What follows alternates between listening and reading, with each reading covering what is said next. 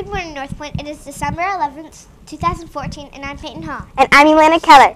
And And, Wake Up North Pointe starts right now.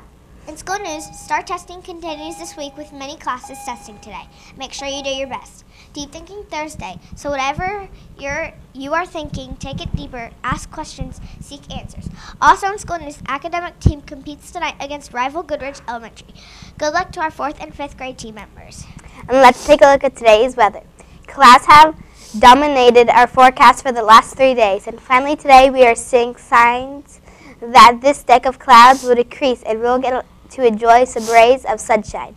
High pressure is building in from the northwest, so this is helping the process. Temperatures will be colder as we head out the door this morning. In the into, into the mid upper 20s. We'll only climb back into the 38 degrees Fahrenheit this afternoon for an unseasonably, unseasonably cool day. Now to lunch. Lunch today will be chicken tenders, Salisbury steak, fluffy mashed potatoes, green beans, tossed salad, fresh vegetable medley, juicy orange wedges, mixed fruit hot rolls. Please stand for the pledge. I pledge allegiance to the flag of the United States of America and to the republic for which it stands, one nation, under God, indivisible, with liberty and justice for all. To start off headlines, we're talking about the Mars Curiosity rover. Maybe there was life on Mars a long time ago.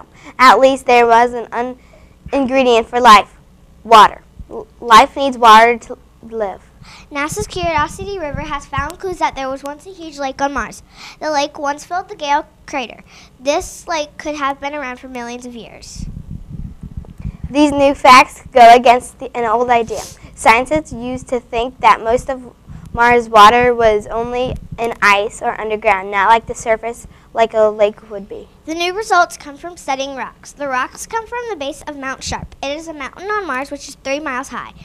It is right in the middle of the Big Gale crater. The results could also change other ideas about Mars. They could make us think differently about how Mars changed over time. The lake was able to last for a long time. That means that Mars must have had a much thicker atmosphere, atmosphere than it does now. The researchers looked at rocks. There were some that seemed to be forming at strange angles. Those are the kinds of rocks you get when fast moving river water suddenly hits a lake. When it does, the river water has to slow down. Curiosity spotted these rocks at many different spots on the mountain. That means the rocks must have moved many times through the crater crater's history. Curiosity is in its third year on Mars. It was originally sent to study Mount Sharp. Curiosity landed in August 2012, but it soon took a side trip from its target. It went to study a spot called Yellowknife Bay. There, the rover drilled up rocks. The rocks showed signs of a fascinating history. The rover found that Mars once had a lot of water, and life can grow in water. Now, the rover is finally studying the base of Mount Sharp. Its rocks could hold the answer. We might finally find out if Mars is much more livable planet than it looks like today. And that's a wrap up today's headlines. On this day in 1936, after ruling for less than one year, Edward VIII becomes the first English monarch to voluntarily abdicate the throne. And now for a fun fact, brought to, brought to us by Stamper World Facts. Just read the cap. Did you know that a camel can drink 25 gallons of water in less than three minutes? Really? It's true. Have a great day, North Pointe. We'll see you next time with some more great news. And remember, North Pointe, Keep your paws up. have a great day or not. The choice is yours.